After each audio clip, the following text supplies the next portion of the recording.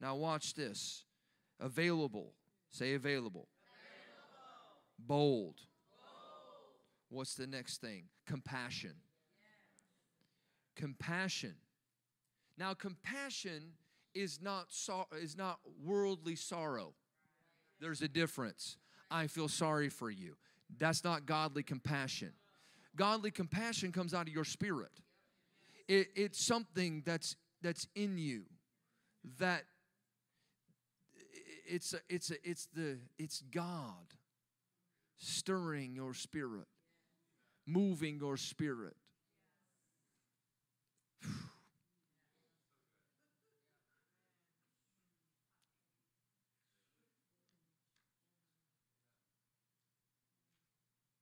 Because just feeling sorry for people doesn't matter.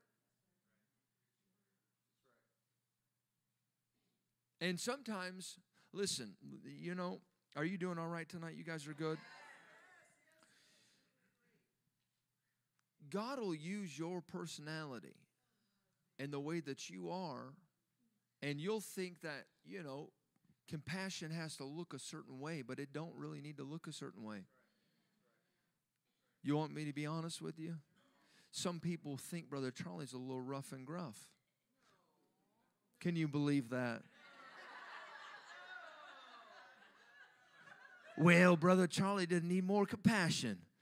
Well, sometimes the personality, God will use your personality, and compassion doesn't mean, oh, I just feel sorry you. Sometimes it can be like that. Some people will look at Sister Kuhlman and say, wow, what a compassionate lady. You know, she would hug them, she would love on the sick, she would even sometimes cry over them. Aimee Semple was that same way. That's kind of that line.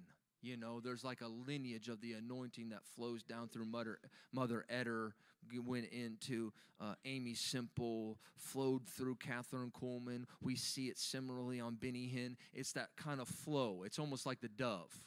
But then you got these other ones that are kind of rough. It doesn't mean they don't have compassion. Right? I mean, Wigglesworth.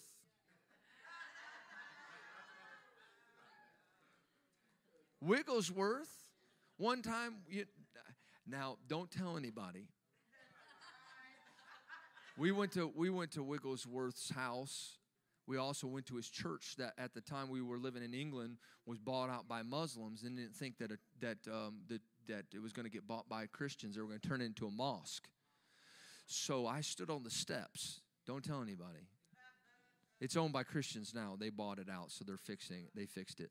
But uh, was on the steps where where um, where where where Wigglesworth took his wife Polly when she was walking out of the church. She dropped dead. He said, "Woman, I need your help. You can't die now." Picked her up, slammed her against the door of the church and said, Get up. She fell down again. He picked her up again and slammed her. You say there's not very much compassion in that. But he needed some help. He needed his helpmate. He was like, Woman, you ain't dying yet. Get up. So he picked her up, slammed her, she, she, and she came back into her body. Now, don't tell anybody, but I got a little, I just got a little like feisty in my spirit. And I figured that, you know, the miracle happened right there in these steps. So I ripped a piece of the foundation off and I took it home with me.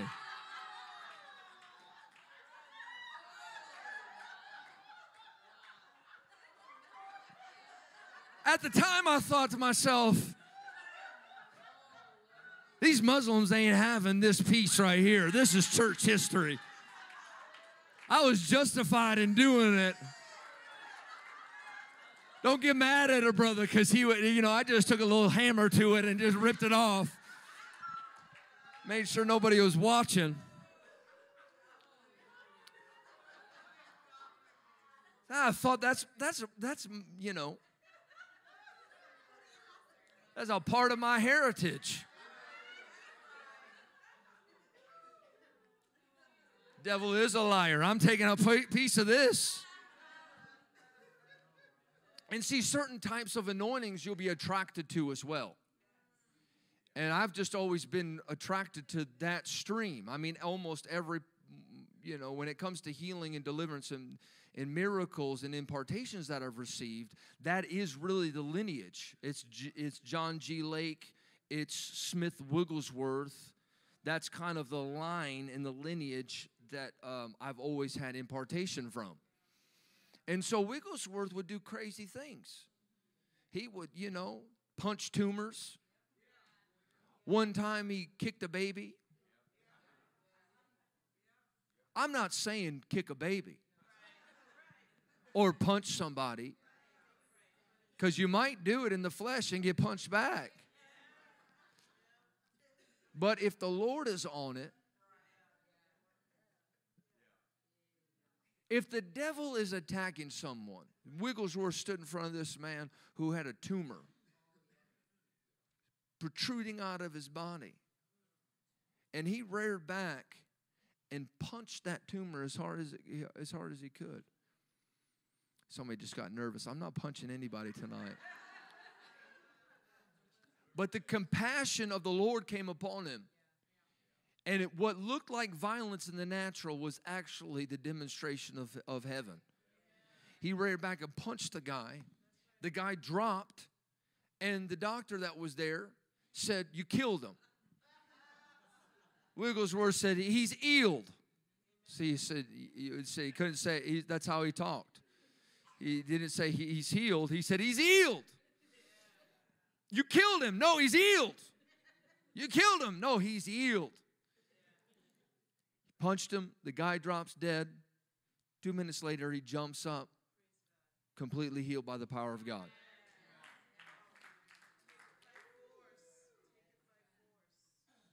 Hallelujah.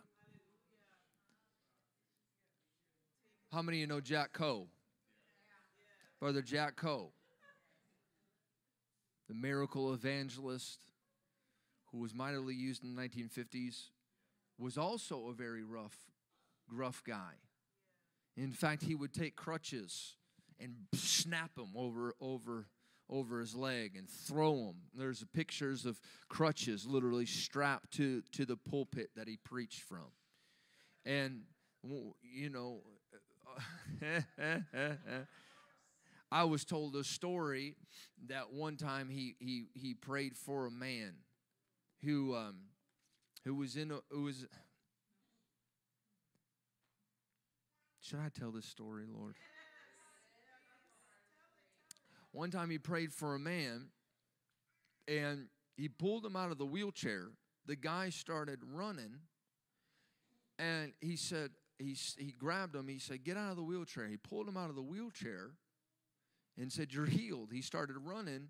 He ran to the side of the tent, fell over dead.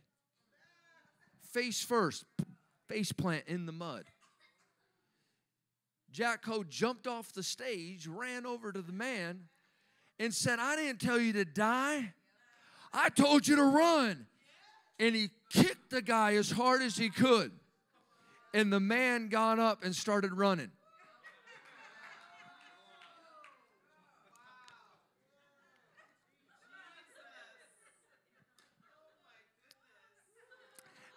As Heidi Baker says, love looks like something.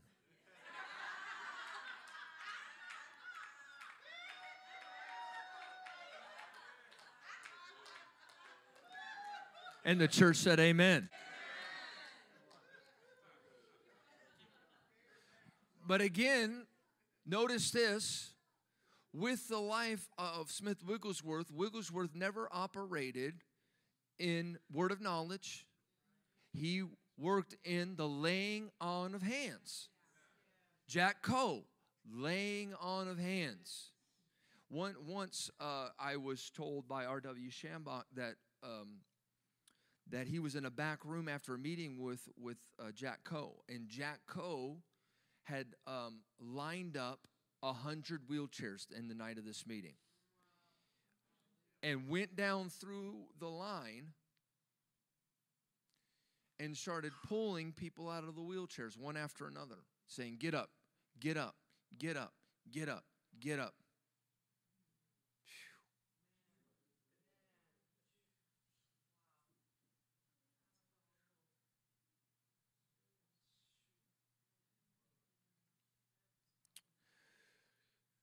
A hundred wheelchairs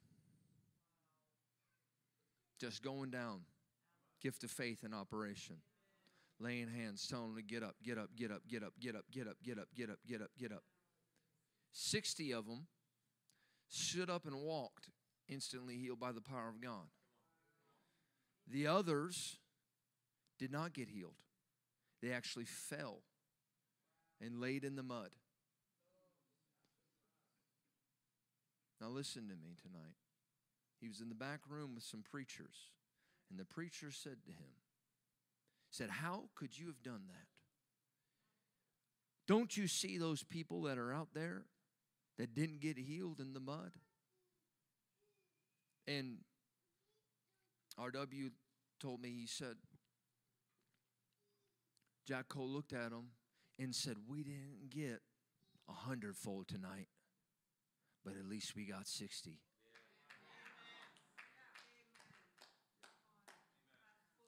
Compassion will say that we're going to go after it, even if we don't get a hundredfold. And that night, those 60 got up instantly healed. The others weren't healed, they fell in the mud. And what would seem to be an act of no love was actually the compassion of the Lord that would say, I'm going to continue to go after it. Even if these don't get healed, we're going to see all these get healed. And then the night, uh, the next night, they can come back and we're going to pray for them again. But don't allow the spirit of religion to try to put on you a false love that will tell you that you don't love people because you, you, you because of your aggression of going after miracles. God will put that anointing on you, and you just got to go with what God has given you and leave the results up to Him. But at the end of the day, there's going to be something that's going to happen. Come on, somebody. So the key is availability, it's boldness, it's compassion, and then also it's being with Jesus.